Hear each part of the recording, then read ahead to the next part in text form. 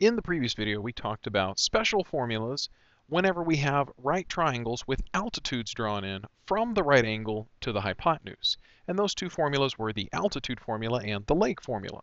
We mentioned that the leg formula could technically be used twice because we have two legs with two adjacent segments for each.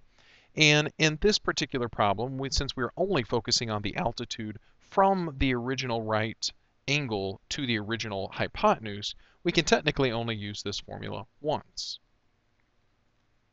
So now what we're going to do is just apply either one of these two formulas, and it could, we, could be that we could just use it once, or we might have a more complex problem where we're going to have to use it more than once.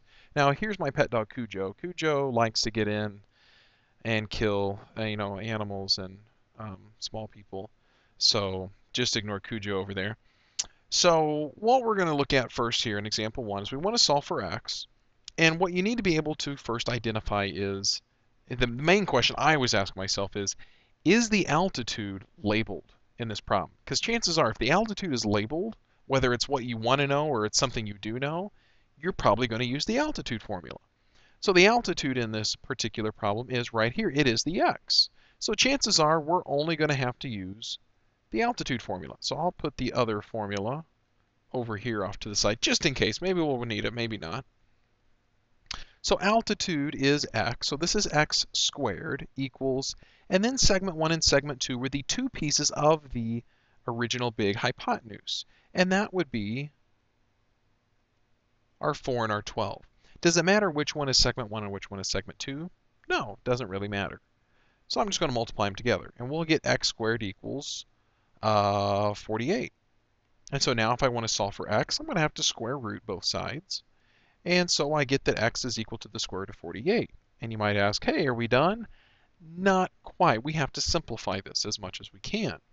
So whenever we simplified square roots, I tried to portray that you really should look for perfect squares in as a factor of this particular number 48. And if you think about the where we got the 48 from, we got it from 4 and 12, and 4 is a perfect square. Now the thing to note is there's also a 4 in the 12. So here's something I might do. Now you now let me just do it this way. 48 we could break down into 4 and 12, right? We've got square root, square root, square root. And this is going to give me a 2, but then I could break down the 12 into a 4 and a 3 and get an extra factor of 2. And so altogether we have 4 root 3. This is one way to go about it, is just to break down and re-break down if there's anything left that needs more breaking down, like the 12 did. What I would do is kind of set myself up, if you will. Like if I know 4 and 12 work, but I know there's a 4 in the 12, I just kind of think of it ahead of time here. Okay? So the 12 I can think of as 4 times 3. And any time that you take a perfect square and multiply it with another perfect square, you get an even larger perfect square. So if I think of this 4 times 4 as 16, 16 is a perfect square like I just said. It's a larger perfect square. So I'm going to think of 48 as, instead of 4 times 12, I'm going to think of it as 16 times 3. So the square root of 16 and 3, well the square root of 16 is 4, and the 3 has to stay behind. And then I don't have to do as much legwork. Okay, if I already kind of think about it ahead of time, uh, if I can think of perfect squares that are all going to be there, I can just combine them all together into one bigger perfect square. So there is x. It is 4 times the square root of 3. Example 2. So we look at this problem. We say, all right, right there, there's the altitude. You know what? It's not what I want to solve for, and it's not even a value that I know. So chances are we're going to throw that one out the window, and we're probably going to use the leg formula.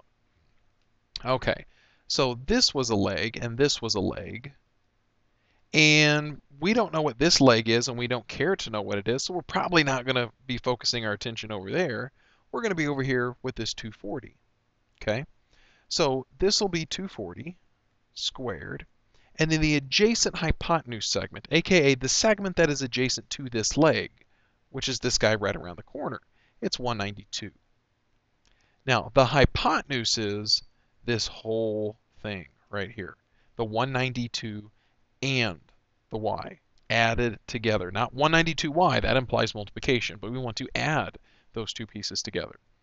Now we've got a lovely large formula to work with here. So I don't know about you guys, but I'm not really good at um, multiplying those types of numbers. I can tell you that 240 squared, I believe, is 57,600, just because I know what 24 squared is. So let me break out my calculator. Yeah, 240 squared is 57,600. And then over here, I'll need to distribute my 192. So 192 times itself squared is 36,864 plus 192y. Subtract over my 36,864 and I get 20,736 equals 192y. Divide the 192 over and I get 108. Now, you might ask, was there an easier way to do that problem? Not really. Um, yeah, you're pretty much stuck with that and dealing with those large numbers. Unfortunately so. Third example, we need to solve for x. Now again, notice first thing, x is an altitude. So chances are we're going to be dealing with the altitude formula. So I'm going to take my leg formula, put it off to the side. I'm not completely going to get rid of it because I might need to come back to it, maybe use it later. But probably not in this problem. So the altitude again is x, so I have x squared. And then I need segment 1 and segment 2. And at first glance, you might go, boom, 40 and 50. Those are my two segments. And you'd be mistaken on one of those. The 50, notice, is going all the way across. This is the hypotenuse. Now, if this, which is one of our two segments, is 40, how much left over is this segment? That would be our second segment. And it would just have to be 10, right? Because 20 and 40 together makes our 10. So 20 and 40 multiplied together gives us 400. And if you know anything about larger perfect squares, 400 is a perfect square. It's 20. And there's x. Example 4. So first thing I look at, find the altitudes right here, and I know it. So chances are I'm probably going to use the altitude formula. So let's put the leg formula off to the side here. And so let's see, altitude was this time, this is 6 squared. And segment 1, segment 2, well, those will be these two pieces that the altitude comes in contact with, right? That makes this 90 degree angle.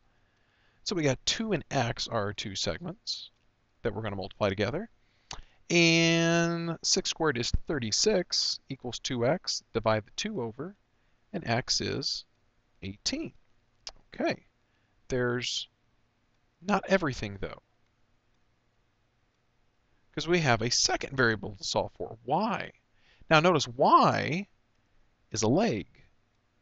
So this is going to be a problem where we need to use not only the altitude formula, but also the leg formula. So the leg in question is y, so this is y squared. The adjacent hypotenuse segment is the one right around the corner, which is x.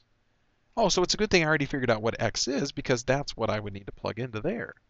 So if x is 18, now the hypotenuse would be this whole thing which would be 2 plus 18, which makes 20. So now we can just drop this out of the way so we get some space here. Now I need to multiply 18 and 20, which is going to be 360. And I need to square root to get the y all by itself. And so now I need to break down the square root of 360. Now, square root of 360, with 360, well, that's 36 times 10, and I know the square root of 36, which is 6. So that's how I'm going to break this thing down. Square root of 360 is the square root of 36 times the square root of 10, and that's going to give me 6 root 10. Can I break down 10? I can break it down into 2 and 5, but I can't do anything with those because they're not perfect squares. So y is equal to 6 times the square root of 10. And there are my two answers for x and y. Example 5. We got three things to solve for here. First thing to note is we want to know what the altitude is, and technically we want to know what both legs are. So we're probably going to be using both of these formulas. I always, just personal preference, always try to go with the altitude formula first. So let's see. The altitude in this case is y, so we have y squared. Segment 1, segment 2, well that's these two pieces, 9 and 7.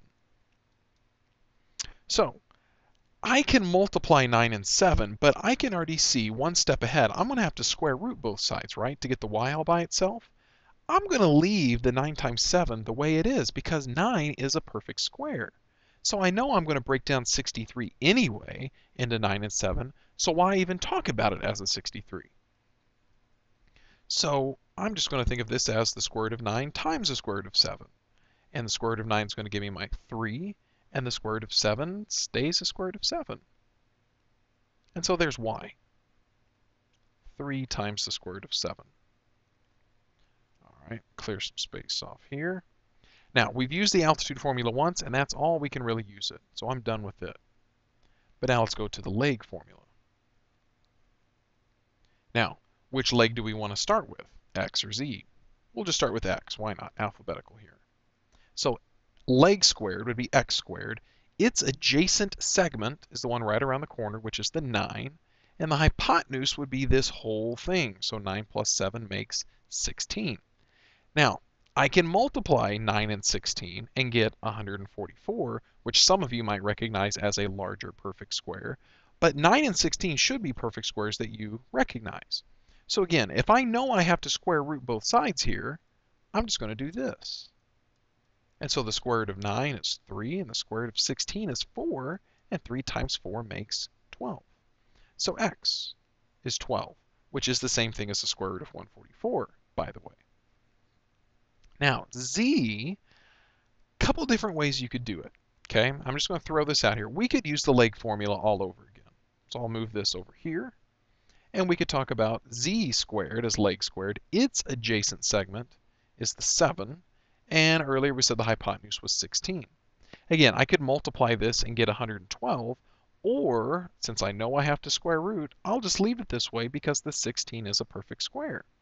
So z will be equal to, the square root of 16 is going to give me 4. And that square root of 7's got to stay put. And there's z, 4 root 7.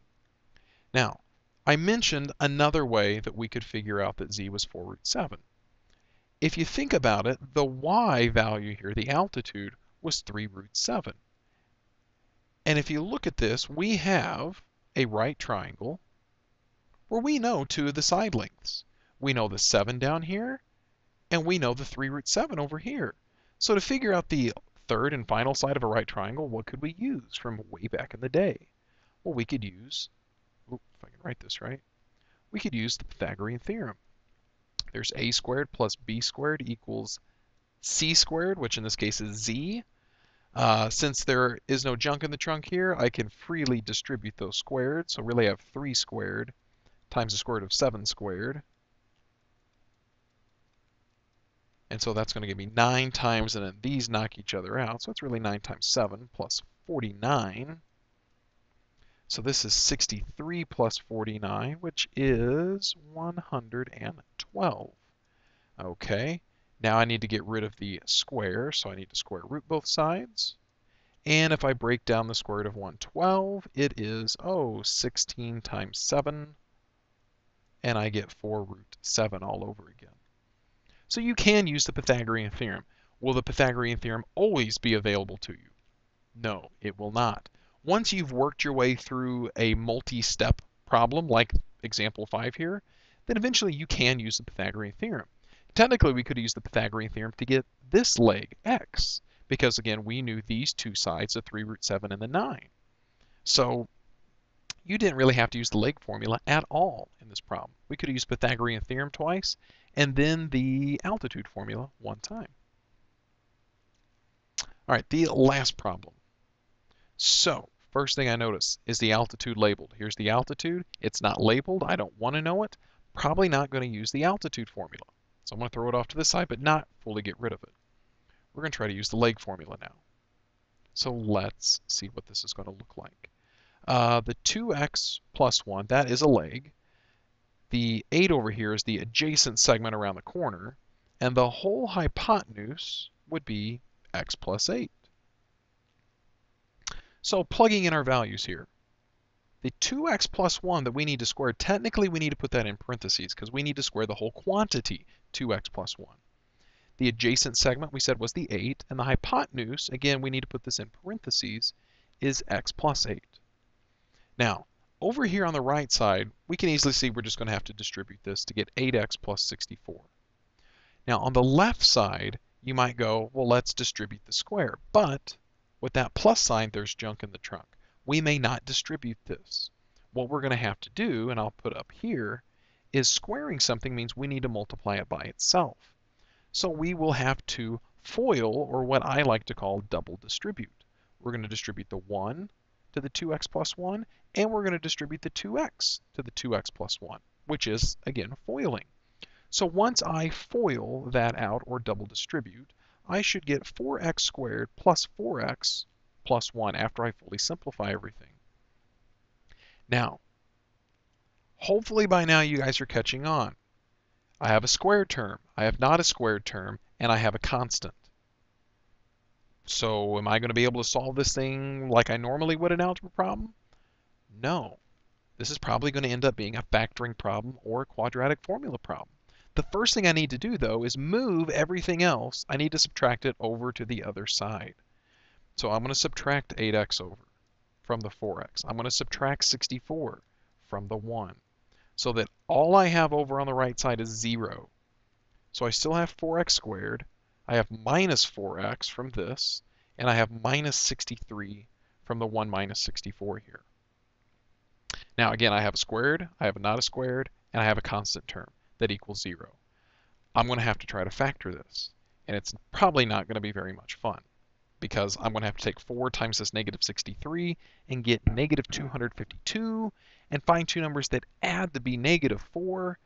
Oh, geez, this is going to be a fun problem. So let me get some space in here. Okay, now let's drag this guy over and up.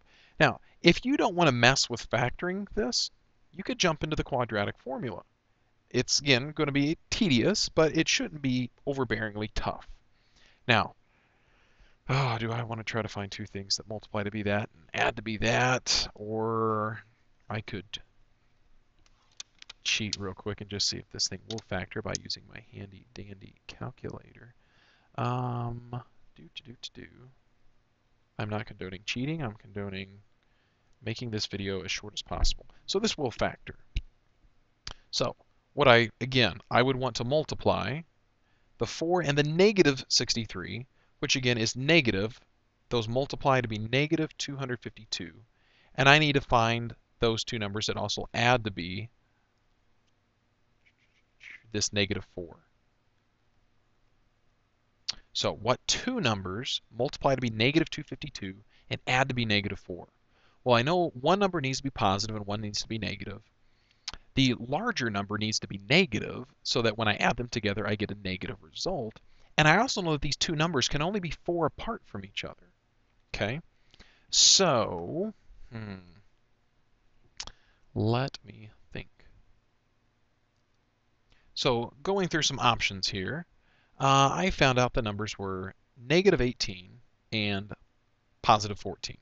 Okay, those two multiply to be negative 252 and they add to be negative 4. It's tedious to try to figure out what these two numbers are. You just have to kind of guess and check, if you will, if the numbers are large enough that you can't just easily do it in your head. All right, so I'm going to have 4x squared and I'm going to take the negative 18 with it first. So negative 18x, and then plus 14x, and then minus my 63. And then I look at the first two terms, and I want to pull out the greatest common factor, which would be a 2 and an x. And what would be left over after I pull out a 2x? Well, a 2x minus 9. Then I look at my other two terms. What's their greatest common factor? Uh, 7 can technically go into 14 and 63. What would be left over? 2x minus 9. Again, you want, more than anything, for those two leftover things to be the same. Because the next step we look at now is, what do these two things have in common? Well, they got the 2x minus 9s in common. So we're going to factor those out. And what's left over once I factor out a 2x minus 9? Well, what was really left over here? think about that 2x9 being factored out and that one being factored out.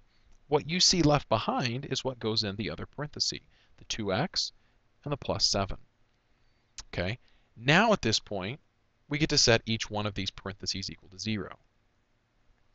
So 2x minus 9 equals 0, and 2x plus 7 equals 0. I'm going to add the 9 over and divide by 2 and get that x is 9 halves. I'll subtract the 7 over and divide by 2 and get that x is negative 7 halves. Now, algebraically, those are two good answers. Geometrically, I need to think about plugging these things back in, and I need positive lengths here. Well, if this is x, I know this can't be negative 7 halves because that would give me a negative length, which means negative 7 halves, it's an algebra answer, but it's not a geometry answer. And we call that an extraneous answer or an extraneous solution. So the only real solution algebraically and geometrically that works is 9 halves. Because if I were to plug 9 halves back in, I would still get all positive results. Okay? So, the two main formulas you absolutely need to have drilled into your head would be altitude squared equals segment 1 times segment 2. And leg squared equals, think about it as the adjacent segment times the whole hypotenuse. And that's all.